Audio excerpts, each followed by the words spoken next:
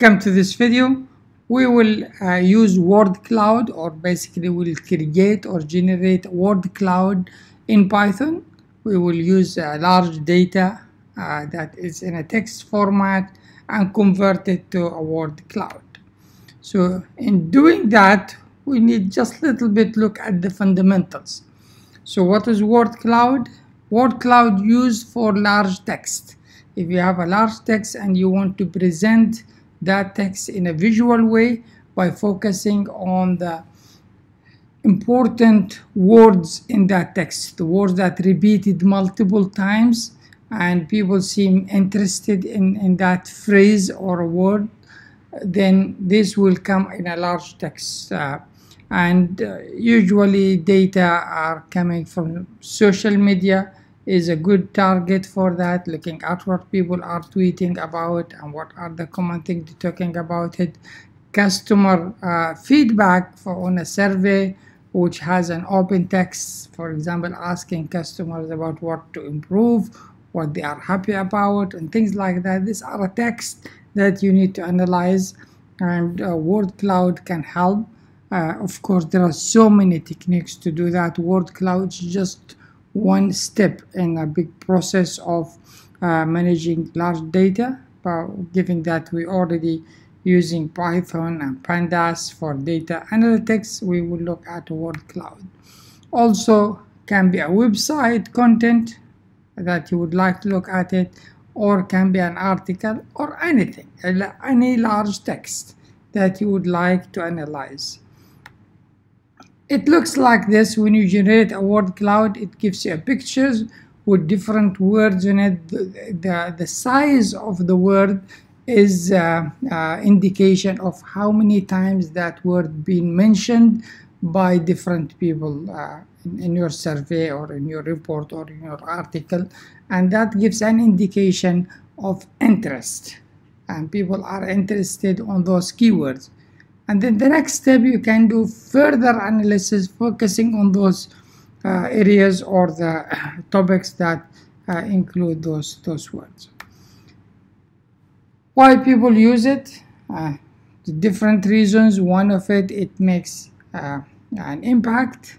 You can easily visualize and show the things that are important to the people and that will make an impact uh, it's easy to understand just by looking at it. You can see based on the size of the word or phrase uh, that gives you indication this is important for for the people or the, the talking about it and they need to discuss it further and can easily be shared. Is an image. Just you copy the image and send it in an email or post it social media or do whatever you want to do with it. Now how to install your um, word cloud on, on your uh, Python. If your Python already has word cloud installed, that's fine. If it's not installed, then you need to install it. So the package that you need to install, we know in Python we use uh, pip uh, to install uh, uh, any package. You can then use the word install and then the package name. So pip install the package name. Uh, for this case, it is pip install word cloud because our package is word cloud. So word cloud is, is, is the package. Now, if you are using Jupyter Notebook or Microsoft, through Microsoft Azure or local installation and you want to install it from within uh, Jupyter Notebook, then the only difference is you have uh, uh, this sign exclamation mark or sign at the beginning that will allow you to run the pip inside the Jupyter. Without uh, the exclamation mark it will not uh, accept it and it'll give you an error. Now the source or the data that we're going to use we will be using data from word.data.word uh, and we'll be focusing on customer uh, reviews of Amazon products. Amazon has so many products as you know and what the opinion of the customers about this product and we will focus on the text uh, component of that uh, opinion.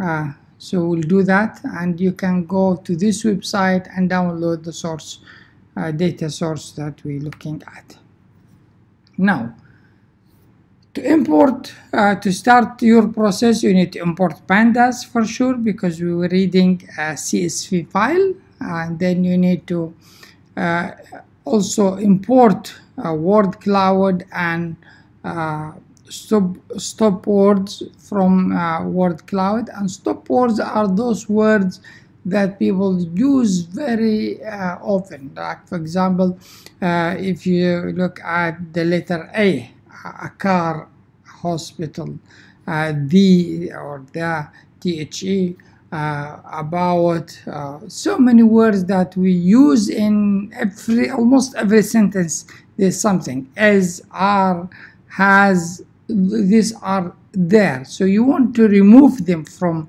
from your analysis. You don't want uh, any of them to come as the highest one because it's not really the focus on of your analysis. Then also there is a, a function or properties called stop words that we can also import. So this line from the word cloud will import the word cloud function and the property stop uh, words. Okay? And this is a list of different stop words that uh, should be uh, eliminated from our text.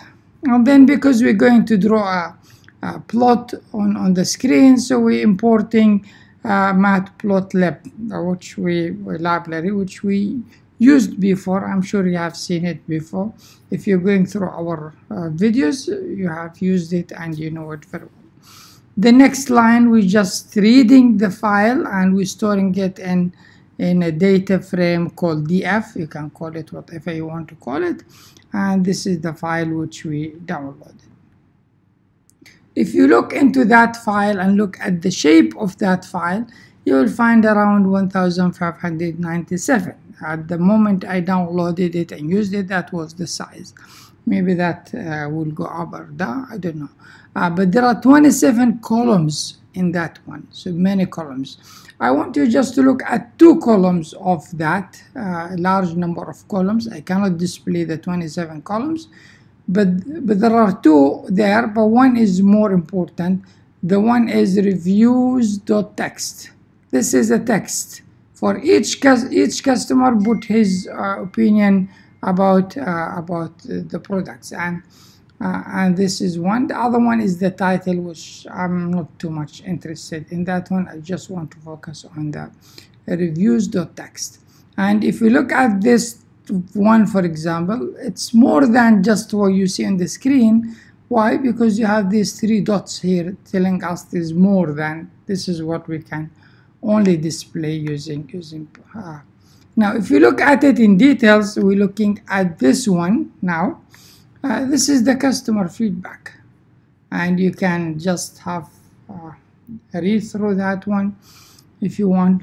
It it uh, customer is talking about his or her experience with with the products and things like it's open-ended uh, answers in uh, unstructured not really structured uh, input. So it's challenging to to analyze it uh, the way we do with numbers which become very easy. You add them you aggregate them you find the average standard deviation. You can with the numbers.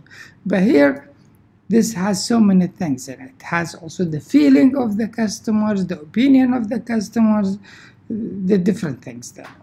So uh, word cloud is one step to get you some uh, insight of what really important to the to the your customers. Here is the code remaining code and we will look at the live code. We'll run it and see how it works but I just want to take you through this one so you understand it. So the first one we're just creating a variable here called stop words in lowercase. And we're creating a set of stop words which we uh, imported. If you remember here we imported stop words here. So those stop words are a list or a set now becoming a set uh, of of uh, of words that will be excluded. So that line basically create a variable called stop words and that use the list of stop words and convert them to a set. So we can later easily uh, work with them. We will not do any any uh, sophisticated thing with that set. It's just we're using as as, as a, one of the parameters. We'll look at it. Now here we create a function. You can call it anything uh, I called it my word cloud whatever. But this function take two parameters. One is a must. That means we need to supply that one otherwise the function will not work. And the other one is optional. Uh, if if you know this already that's that's good. But if you didn't know that the optional uh, parameter or variable usually has a value equal none. Title equal none that means I can run this function I can call it by providing only data and not providing anything for the title. But if I provide that will be fine. But if you do not provide it's okay. So that allows this one to be optional parameter. Now we go inside the function and we using creating a new variable I'll call it word cloud lowercase and this one is calling the function word cloud. Where is that word cloud coming from here? This is the one we use, which we imported from word cloud we imported this one. So this function we're using now requires so many parameters. And those parameters are only for us to set up how our cloud will, will look like. So we can give it a background here it's white we can set the stopwords as the stopwords means ignore if the stopwords uh, in your calculation. With the maximum words we look at only the top 200 but you can make it top 100 top 50 top 10 whatever you want to do yeah? And that will display how many words on the cloud the maximum words. We will change those numbers you will see how it works. Maximum font size means the largest word or phrase in your uh, in your um, uh, graph how big it is. What is the size of that font okay? And scaling based on the size and random uh, uh, state is one. Now this is the parameters that you can change and we will change them. And then you uh, you apply another function to this one which generate using the data str data. Means convert this data to string okay and generate for that one generate the the word cloud. So this one will find the list of words that used widely uh, in the text and each one has a number that indicate how many times it was repeated so this is calling that function and the data will be stored into word cloud. So we have now word cloud. Next thing we need to plot it on the screen. So we'll create a figure using plot.figure and here we're putting figure size. So I'm putting 2020 that means the size of of our plot. And we can make this one bigger or smaller as we like. And you can see to do that. I don't want to display the axis the x and y so I used off here. And then I said if title we said this is optional yeah? If title is provided is data for the title is provided then add the title okay? And that will add the title. And then show the word cloud on the screen yeah? These two lines will show the word cloud on the on the screen this will plot it and this will show it okay now that's done the next thing we need to do, we need to call the function. And here comes this line here, which uh, I'm having challenge uh, showing you. But here's the line. I'm calling the function my word cloud, passing to it uh, one column from df, which review.text. Okay. Then applying to it dropna. I don't need any NA. If data is not available, ignore it. Otherwise, if I have large NA and I do not drop NA, NA will be one of the words that will be displayed on the cloud okay let's now have a look at the live one and here is our live one and we're looking at it. This is the import which we all spoke about it. It's there so we'll just run it and look at the shape correct? And now here is our function and we just run that function. It display this uh, cloud for us.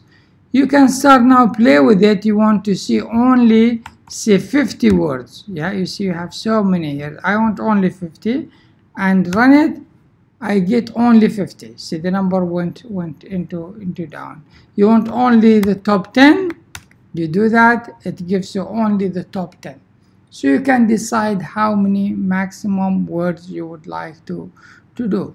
Uh, see things like one we can add it maybe to the stop word. Now maybe you can add it to the stop word you want then that will eliminate them from from our uh, from our list. But now they are not into uh, the stop word okay? So let's put this one back to 200 now the maximum font you know the size of the bigger font and uh, the rest of it. I think now you have a good idea about how it works. Now if your column that you're looking at is different. You just basically need to change this one and put the column name here. And then it will display the the uh, the word cloud for that uh, one. Now here if remember we have something called title I think yeah? Title and run this see this is using the title uh, uh, as we said in our uh, example we have uh, reviews titles and we have reviews. Now we applied the same giving us the similar uh, similar uh, outcome. I think very similar outcomes. Okay so I hope you you find this one useful and you start uh, playing with it and creating word cloud uh, uh, representation of your, of your data. Now after you create the word cloud, the other techniques you can use to look uh, more, more uh, in depth into your uh, data. Thank you.